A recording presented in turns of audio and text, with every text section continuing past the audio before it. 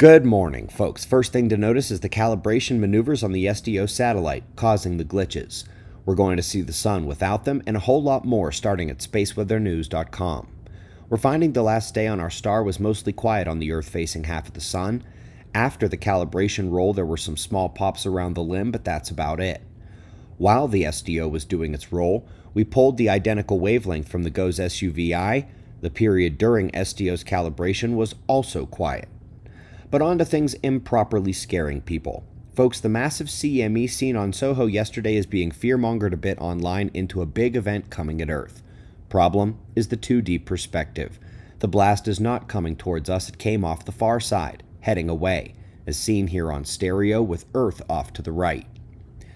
Quick stop in Toledo, Ohio, where after some deliberation and doubt from experts, it is now pretty much confirmed that it was a lightning strike that took out the mural.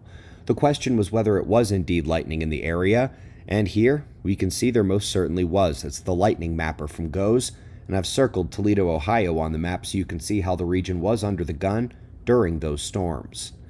Speaking of storms, excellent article about the vortex disruption to the ionosphere during strong geomagnetic events.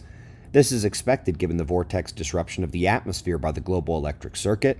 The layers act like the double boundary between the Earth and tornado tops, even way up in the ionosphere. Lot of questions coming in about the moon wobble, well, folks, this is a nearly 20 year cycle the moon goes through, does it every other decade. And this story is just them saying that, well, now sea level rise will actually make it bad, which is what they said last time, by the way. Beyond that, excuses, excuses, always blaming man for what the Earth, Sun, and galaxy are doing. Folks, that moon wobble thing is a double fail. Over to a question surging over the last four days as well. How long does it take for the actual magnetic flip to occur? Well, the long chron events that only occur every few hundred thousand years can happen very rapidly. And what we're looking at today now is the excursion cycle unfolding. Those are the shorter duration, fast flips. The answer to the question is probably not very long at all. Folks, it's needed that we come back to check the Earth's rotation glitches again. Yesterday we went over the preposterous fastest day forecast for October 11th, how it jumped not only months back but to a much faster degree. Well, let's now push that back one more day and set it a little bit faster.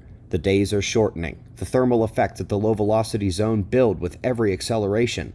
The crust and mantle are only locked by a delicate thermoelectric equilibrium, and every speed up heats that layer. Like a tennis ball on a string, or a waiter carrying a plate on his hand. Spin it too quickly. The tennis ball breaks off the string. The plate crashes to the floor. The thermoelectric equilibrium breaks down at the low velocity zone. We greatly appreciate your support. Got a bunch of deeper look episodes for you this month for website members at suspiciousobservers.org, not to mention the weekly podcasts. Website is one of the best ways to support the channel, and there's hundreds of hours of more videos available there. We've got wind maps and shots of our star to close. Subscribe and we'll do this all again tomorrow. Right here, but right now it's 5:30 a.m. in the new Valley of the Sun. Eyes open, no fear.